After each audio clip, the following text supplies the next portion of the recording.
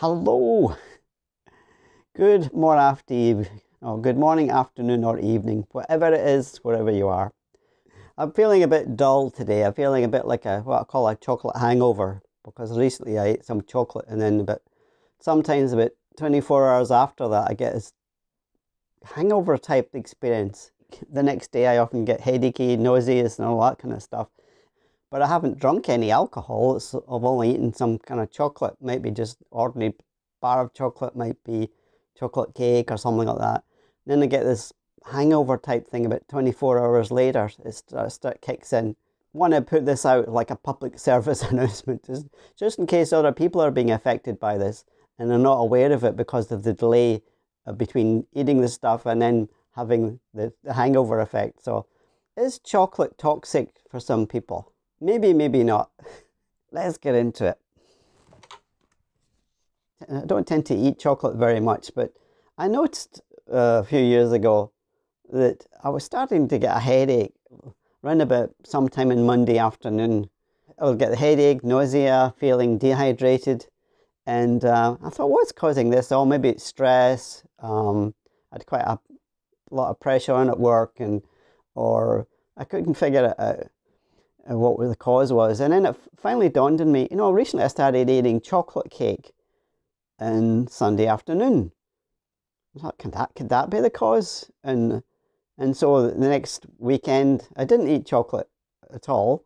And the Monday I was fine. I thought, okay, there's, there's evidence of a possible causation between those two events. So eventually, I, so eventually I uh, pretty much cut out chocolate. And uh, not that I tended to eat much of it anyway, but I, I cut it out and um, and got far fewer headaches and far fewer of these experiences, just suddenly feeling all kind of noises and unwell and dehydrated.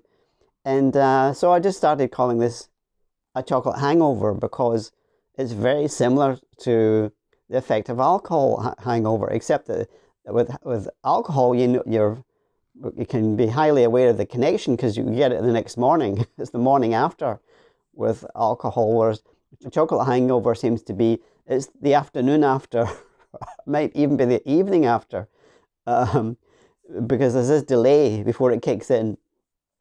So I wanted to put this out because other people may be affected by this. They might be getting these chocolate hangovers and not even know what the cause is because of the gap between uh, the time, the, the gap of time between taking this stuff and having the experience of the chocolate hangover. Because uh, as I say, it took took a while for me to realize the cause because I didn't hadn't tended to eat chocolate very often. Now, is this an allergic reaction? You might wonder because um, the, th- the thing is, it doesn't seem to me to be like an allergic reaction because it's like my body's reacting to a toxin. Now, I'm not a medical professional. I don't pretend to be giving medical advice, but just want to put out what my experience is. And because the way my body reacts to alcohol is like most people get a hangover, and my body reacts to the chocolate the same way. It's very much like a reaction to a toxin, and uh, as if it's processing something that's t- toxic. And then once it's processed it, or if I drink a lot of water to help to re- rehydrate myself, that helps. And once the body's processed it, it kind of get back to normal again, back to its equilibrium. It doesn't strike me as being like an allergy, though could be. Don't know. I'm not an expert in these things. Because you wouldn't call um, an alcohol hangover an alcohol allergy. So it does seem to be more, as I say, as a, to- a reaction to a toxin rather than an allergic reaction. Some people have said to me, well, it actually might be as also a reaction to the amount of sugar that's in the chocolate or the combination of sugar and fat that's in the chocolate. And, um, and I thought, well, that could be the possibility. And I've noticed that if I take, um, I sometimes take a little bit of chocolate that's like 97% cocoa. And so there's virtually no sugar in it. And I seem to get on a bit better with that. But still, eh, that's incredibly bitter chocolate, by the way.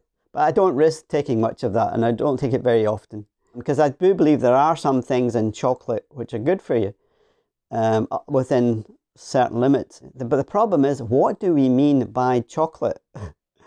because you see a lot of scientific research, and I see lots of little snippets in newspapers saying, oh, the scientists have discovered that chocolate's good for you because it's got this in it, or chocolate's good for you because it's got that in it. Okay, I think, well, that's all very well, but are they cherry picking the research and only emphasizing the good bits and not saying anything about the way they're discovering that maybe chocolate has a toxic effect and a toxic reaction to the, in the body?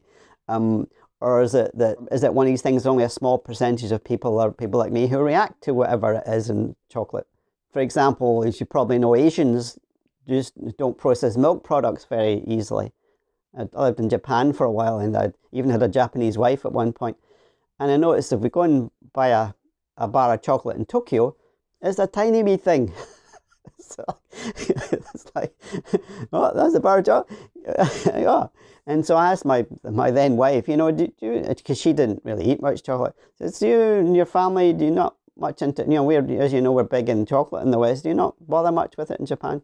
Oh, yeah, yeah, we buy it. And I says, well, I thought, look, these bars are very, very small, you know, for us in the West, you know, because she'd been to the West and she kind of knew that. She says, oh, yeah. She says, she says, well, my mum might buy one of these and it'll last her maybe more than a week. She might only take one square. There's a tiny wee square of this tiny wee bar a day of, of, of even of that, of that. And oh, okay because you know, and that might be because they can't, uh, they don't process milk very well in, the, in Asia. It's uh, something to do, with, do with the DNA. So they probably have less of a problem of, of chocolate hangovers in Japan. So, so it may be that there's something. So different people have different ways of processing different foodstuffs and different things we ingest. So it could be something in my DNA and, and my family's DNA because I've asked other members of my family and they have a similar reaction to chocolate and uh, uh, chocolate type products. And, um, years ago, I put up a, a, a post on a website uh, talking about the chocolate hangover. And I got responses from people saying, wow, yeah, yeah, I get that. Thanks for mentioning it. And so I wanted to put this out there. And uh, so one of the issues is coming back to the research thing. So there's always thing about this research that proves this or that about chocolate but they don't defi- they don't usually define, or certainly not in these snippets that appear in newspaper, what they're testing. Are they testing the chocolate that is most very little cocoa and mostly milk, fat, and sugar that's in a lot of the supermarkets? Or is it some kind of pure form of chocolate they're using specifically for the research that doesn't have all of the added stuff to it?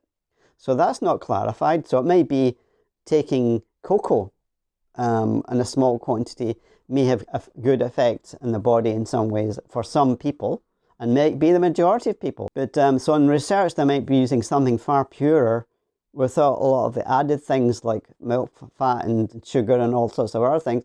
They're doing research on something that's relatively pure, and then we go to the supermarket and we get this stuff that's very little of the active ingredients, perhaps. It's not clear about what this when they quote this research of chocolate's good for you because this they're not defining chocolate they're not saying what they're actually testing because they may be testing something very different from what you get in your local supermarket or what you get in your local shop you know? There could be a big difference there. So they're being a bit disingenuous uh, i think with some of this where they're quoting research about chocolate.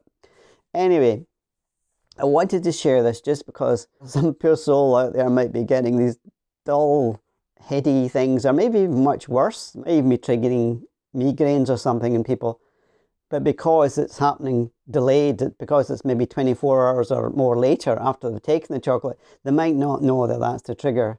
I mean, I have heard that chocolate can be a trigger for migraine. Anyway, please comment, put in your experiences. I'm not, not a medical expert, but I'm curious to know if other people have had this reaction who find them they eat chocolate and then there's some kind of delay and they get some kind of headachy sickness, hangover symptoms, or or where you don't get that, where you can eat globs of the stuff and it doesn't bother you. Or where you find that specific types of chocolate are okay for you. Add your thing. What's your experience with chocolate? Does it do you the world of good and never causes you any harm, not even 24 hours later? Or can you not handle this stuff at all? So please uh, make your comment so we can see what is the, the general consensus of people.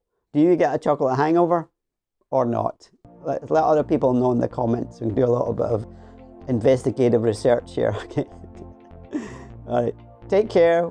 Hope you got something out of this. Uh, be you. Be your best. Be your best self. You're awesome. Go for it.